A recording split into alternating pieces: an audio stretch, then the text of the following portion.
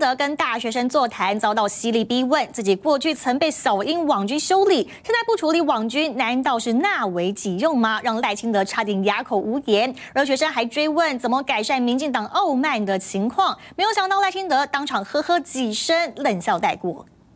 二零二零因赖真总统初选，赖清德被网军轰到体无完肤。一场台大演讲，学生犀利揭开民进党的沉痛伤疤。蔡英文总统和他的势力曾经指派网军攻击您的政治立场轻中，你也曾经呼吁总统不要再指挥网军了。不再深究此议题，是因为未来这些网军能够为您所用，还是您已经忘记网军曾经对您个人还有台湾民主所造成的伤害？这问题问完，赖清德从头到尾没有正面回答。大学生不留情，在痛批民进党执政傲慢。没想到赖清德这。几声冷笑回荡全场。赖主席未来如果有幸当选总统，要怎么改善民进党现在傲慢的习性？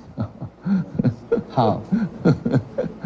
再看一次，学生题目才刚问完，赖清德马上冷冷喝出来。网友炮轰，这笑声代表已经回答了，果然改不了，只想回答自己想答的。赖清德完美的展现出民进党现在执政的态度，现场示范傲慢无视他人的问题啦。赖清德呵呵笑三声代表什么呢？他无法面对问题。赖清德在当台南市长的时候，是谁创下了民主自治史的最高纪录？说不进议会就不进议会，这不是傲慢，什么叫做傲慢？但台大学生没松口，继续追问当初蔡英文带领全党力挺林志坚论文抄袭，还杠上台大。赖清德终于有回答：全党力挺林志坚的论文事件，那也对台大有所攻击。党政军退出校园，是不是还是民进党坚持的价值？我们都在争论的过程当中学习，在下一个阶段如何建立一个更好的方式。